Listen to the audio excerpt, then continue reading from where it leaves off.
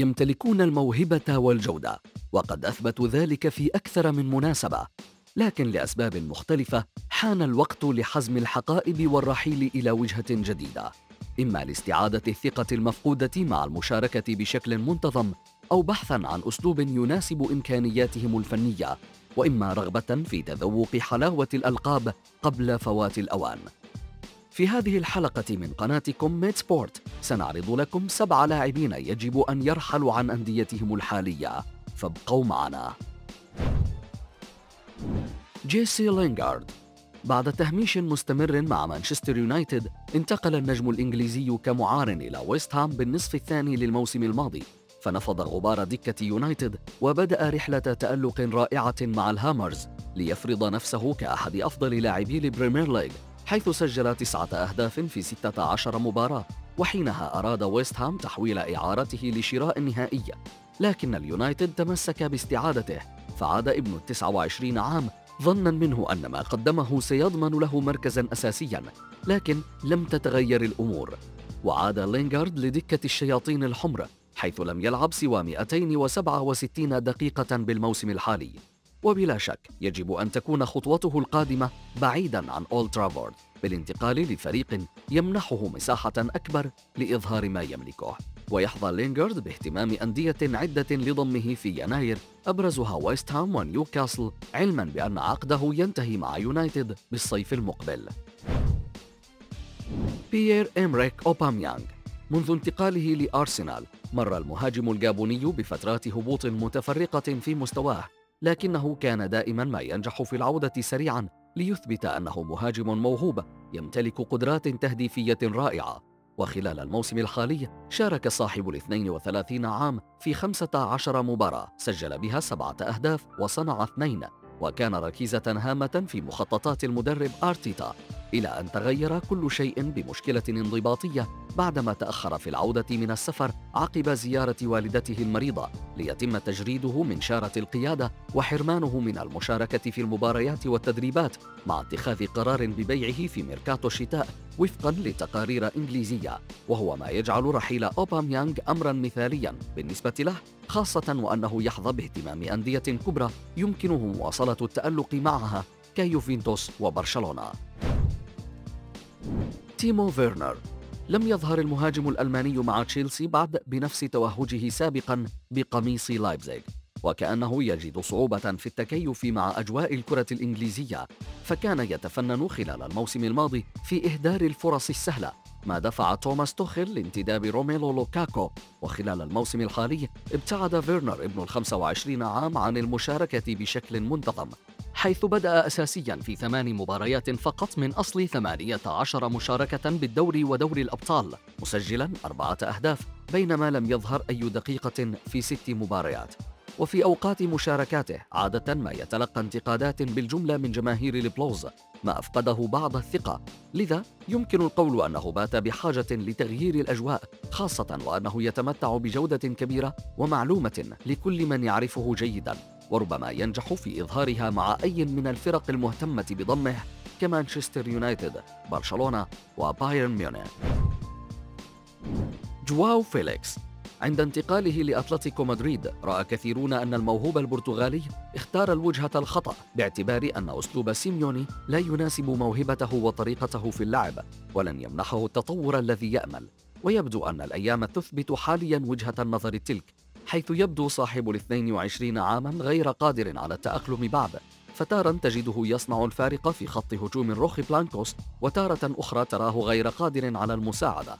أحيانا يدخل المباريات كبديل وأحيانا أخرى يتواجد بالتشكيلة الأساسية. خلال الموسم الحالي مثلا بدأ أربع مباريات فقط كأساسي بالليغا وإجمالا شارك في 15 مباراة سجل بها هدفين وصنع مثلهما.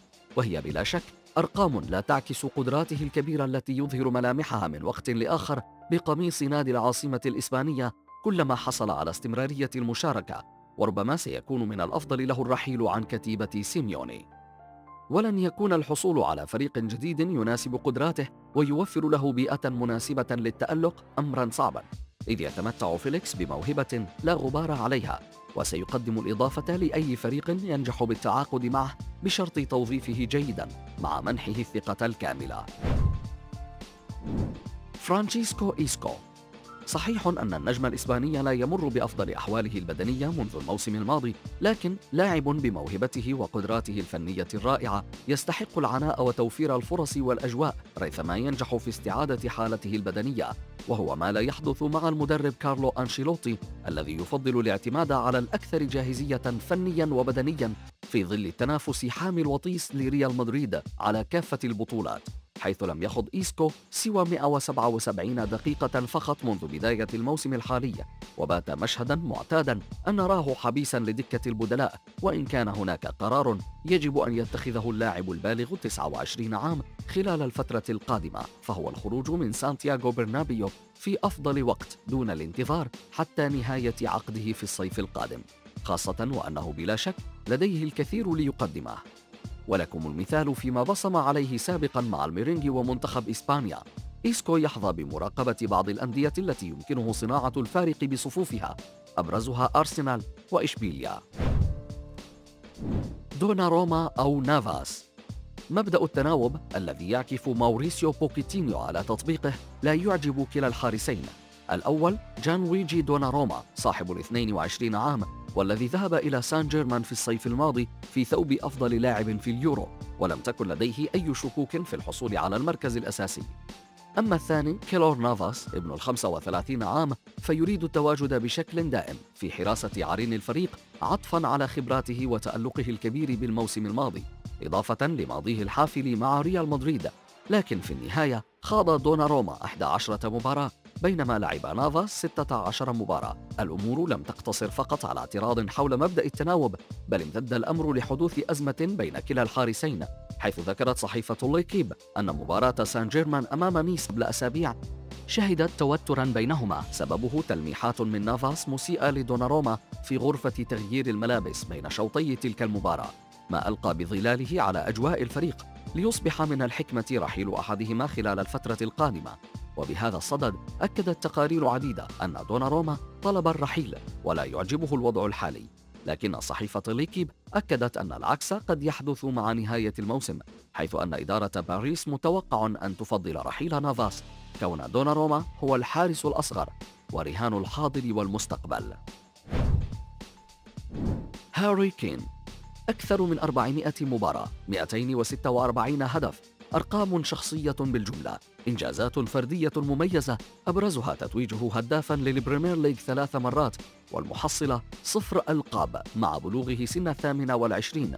يبدو كل ما سبق سببا كافيا ليفكر المهاجم الإنجليزي في وضع حد لمسيرته مع توتنهام والانتقال لفريق أكبر وجاهز لحصد البطولات قبل فوات الأوان مع تقدمه بالسن وهو بالفعل ما اقترب حدوثه خلال الصيف الماضي. حيث امتلك كين عرضا ضخما من مانشستر سيتي لكن توتنهام رفض السماح له بالرحيل ليقرر التمرد وعدم حضور تدريبات الفريق لكن لم يتغير شيء واستسلم في النهاية لرغبة ناديه. ورغم استمراره مع توتنهام إلا أنه من الواضح أن ذهنه أصبح خارج النادي.